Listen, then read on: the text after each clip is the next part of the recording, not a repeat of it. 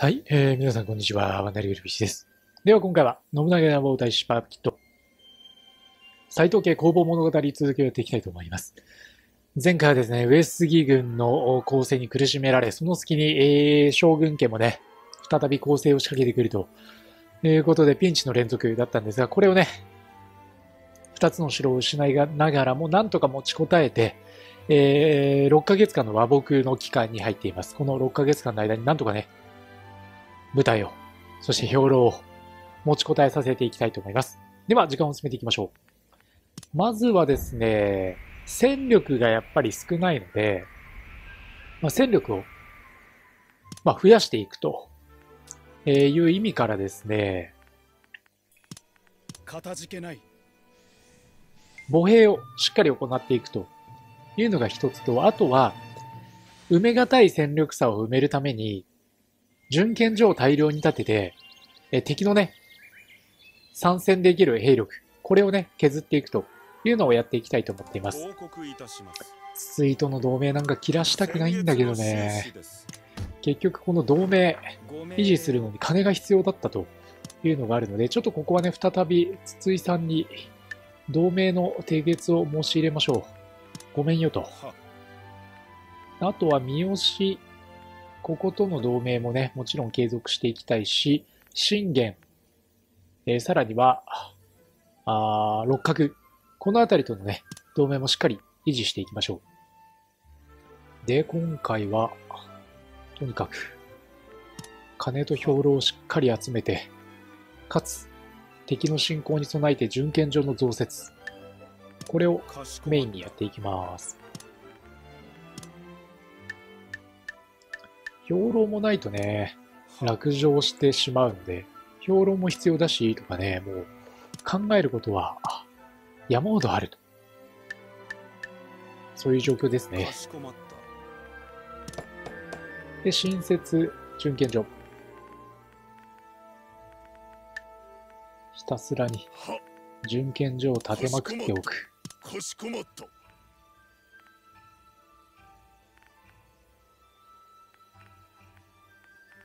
敵との決戦の地に近い立地の場所は、とにかく、準検所で持たせるしかない。まあ、そういう状況ですからね。かしこまった準検所を立てまくる。金が続く限り。ではしばらくこの戦略で進めていきたいと思います。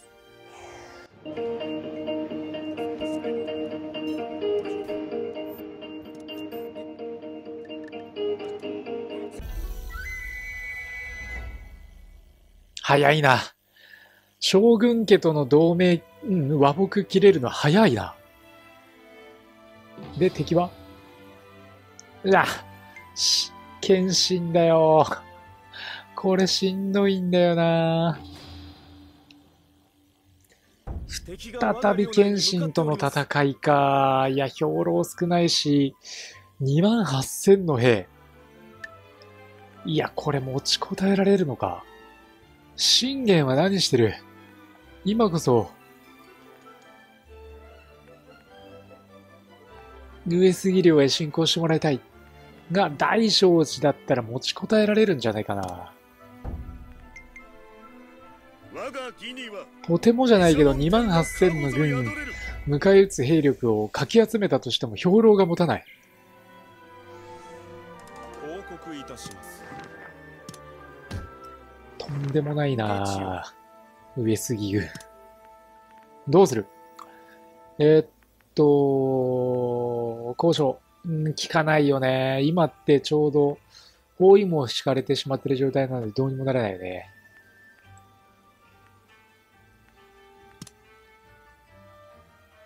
いや、武田に援軍をお願いしたところで結局兵糧がないからどうにもならない状況。いや、ここは大正寺を信じましょう。大正寺城は硬いよ。言っても。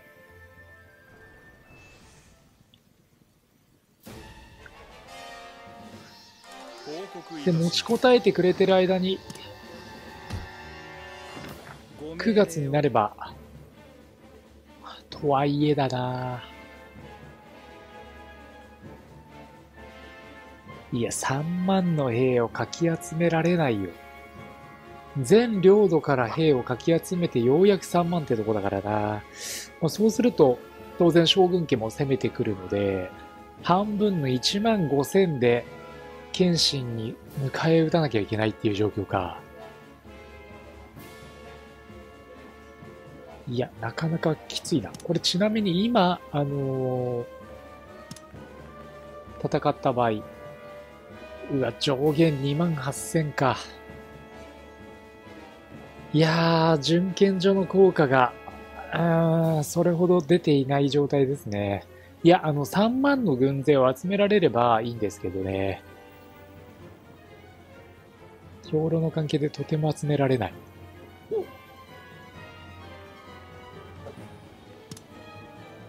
我が義を示す大正寺が持つのか、これで果たして。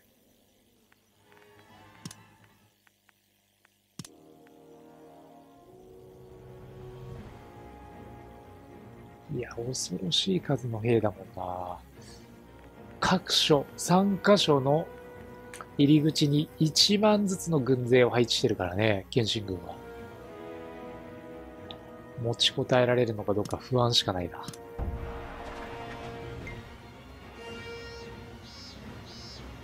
兵糧が持つかどうかと、城の士気が持つかどうかと、兵の数が持つかどうか。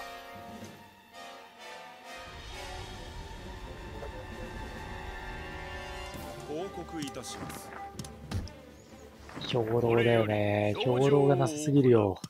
いくらなんでも。これにて表情を終えさて。今すぐ、効果が出るものがいいよな。ご命令を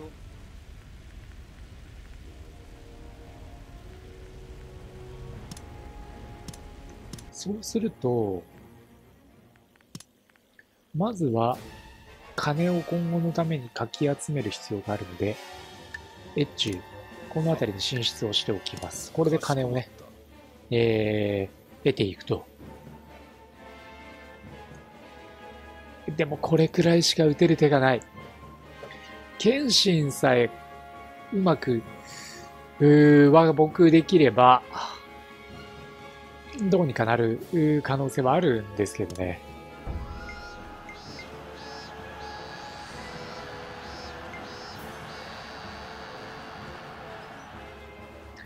逆にこの大聖寺が抜かれてしまうと、もう謙信軍を食い止める力がない、いい状態になるので、大聖寺を抜かれないようにいい注意する必要があるかなというところですかね。ただ、軍は出せない。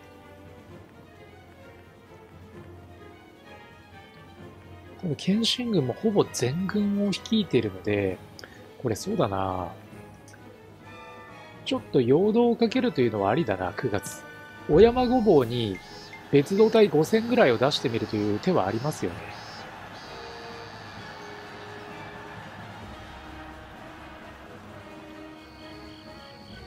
商いを始めましょういや、金は今、欲しいけど。告いたしますよし、兵糧が1万8000。金も増えた。これでなんとかなる。持ちこたえるしかないですかね。いや、でもこういうピンチの連続がある方がまったりするよりかはいいかもしれない。では、小山ごぼうに軍を送り込みましょう。1万8000は出せない。もうあっという間に兵糧が尽きてしまうので、近場から5000ぐらいの兵を出せれば十分かな。あくまでも陽動的なね、意味合いが強い、いい部分にはなりますので、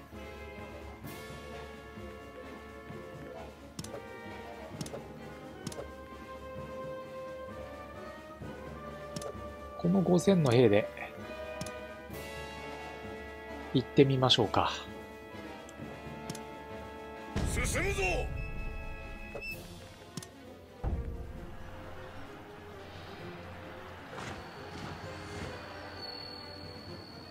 まずここしっかり勝つことですよね。勝って信玄を撤兵させる。それが重要。兵の数では勝っている。部隊数でも勝っている。勝家に任せるしかないな。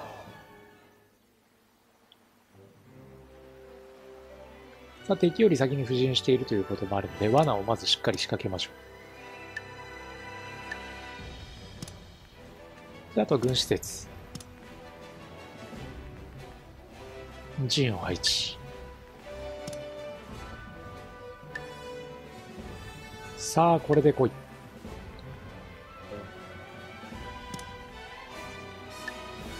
できれば敵をね、包囲戦、部隊数の有利を生かして、攻撃をうまく使っていければいいかなというところですかね。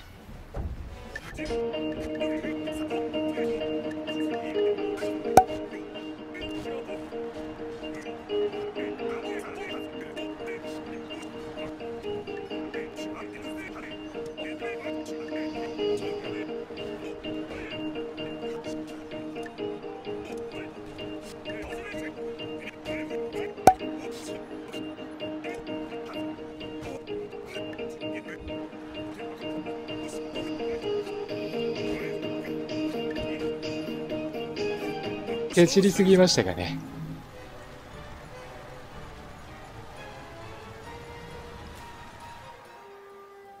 かといって追加で軍を繰り出す余裕はない。これが大正寺のね、えー、戦意に影響が出なければいいな。お味方が討ち死にしました。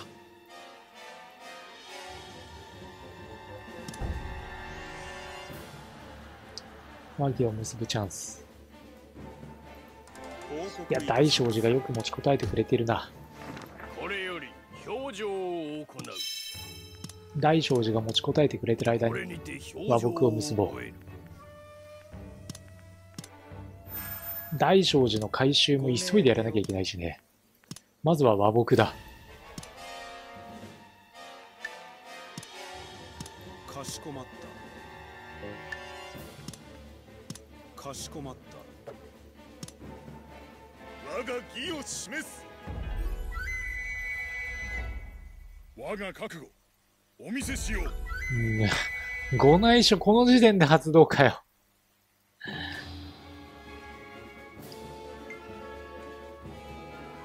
いやー、和睦すらさせてもらえないか。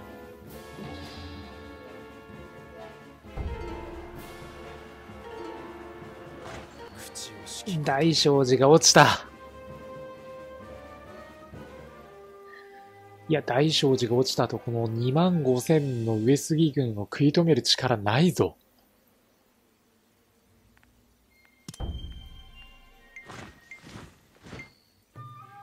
急いで城の補給をしないといけないね。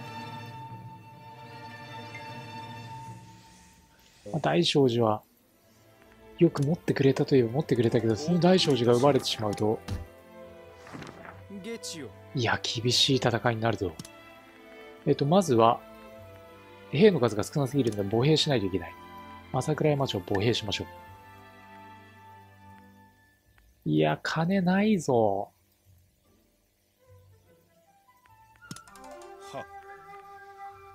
一条谷にも、全くと言っていいほど、兵が入っていない。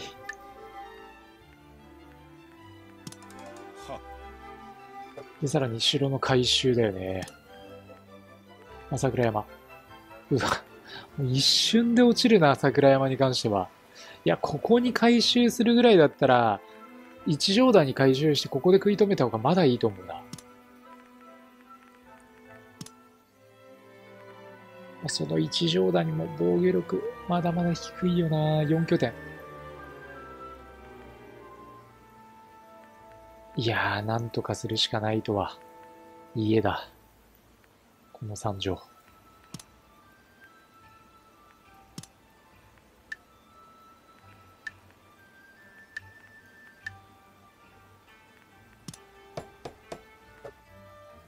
回収、回収。勝山城も回収だ。勝山城に関してはもう回収の余地なしか。であれば、天守を。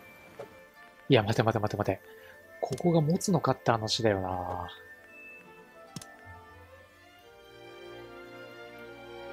いや、朝倉山城も、とはいえ回収しとこう。ちょっとでも長く敵を食い止めてもらわなきゃいけない。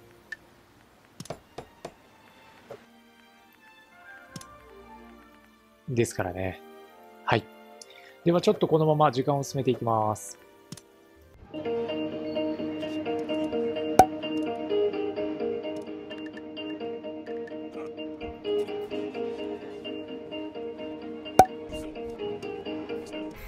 情勢が変わりましたね。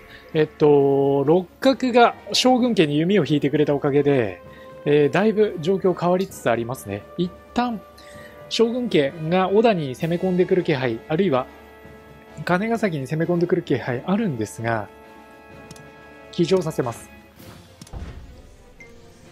敵の動きを見極める。うまくすれば六角が将軍家を叩いてくれてる間に城が救えるかもしれない。これより表情を行うこれにてなんとかここは持ちこたえたいよな。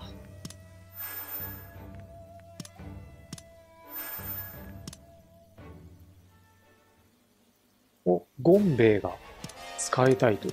この落ち目の斎藤家にゴンベイがありがたく使わせてもらおう、ゴンベ。で、六角隊は朝宮城に攻め込む気配か。金ヶ崎城でどれだけ持ちこたえられるかだな。下手をするとまた、上杉軍が攻め込んでくるからね。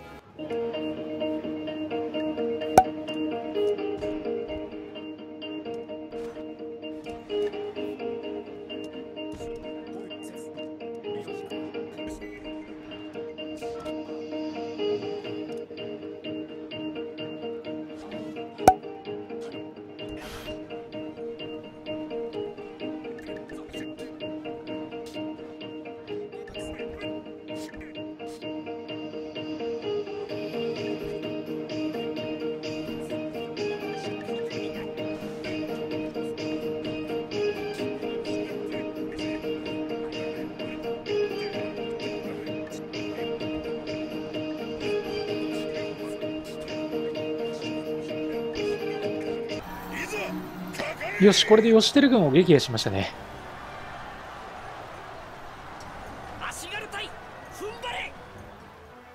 ここで欲をかいて清水山城の奪還に向かうか、それとも、謙信に備えて、一度兵を引いておくか、悩ましいな。全員処刑する。当然だ。無念非常に悩ましいが、ここは、今なら清水山城、あるいは、持瀬山が取れる。これは将軍家滅ぼす絶好の好機。将軍家を滅ぼしてさえしまえば、謙信との和睦も可能かなというふうに思うので、ここはちょっと一挙に野地瀬山にしましょう。拠点狙う場所。を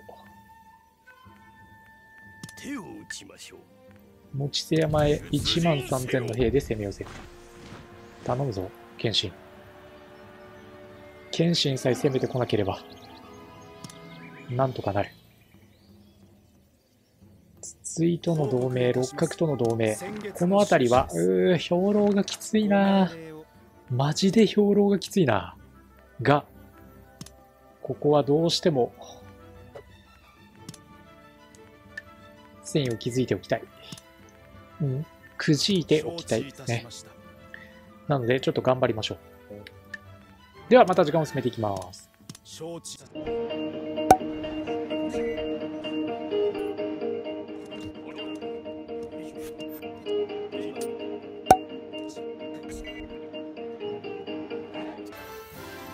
えっと、そしたらですね、今状況徐々に良くなってきていますね。まずは、あの、津山を奪還したんですが、兵糧が心配なので、騎乗させます。ここまで。ここまでです。ただ山名があ将軍家に弓を引き、六角も将軍家に弓を引き、今上杉に対しては和睦の申し入れをしているので、これが相なれば、一気に将軍家をね、滅ぼしてしまって、強制包囲網を敷かれる心配をなくせば、まだまだ盛り返し可能かなと。のちせ山の2200か。200しかいないんだったらこれ落としたいよね。ちょっとそのあたり、兵糧との相談をしながら考えていきたいと思いますので、次回ですね、またこの続きをプレイしていきたいと思います。はい。最後までご視聴ありがとうございました。内容いかがでしたでしょうか？ぜひ、えー皆さんの感想や、あとアドバイスですね、いただければ嬉しいなと思います。それと、チャンネル登録と Twitter のフォローもぜひぜひよろしくお願いいたします。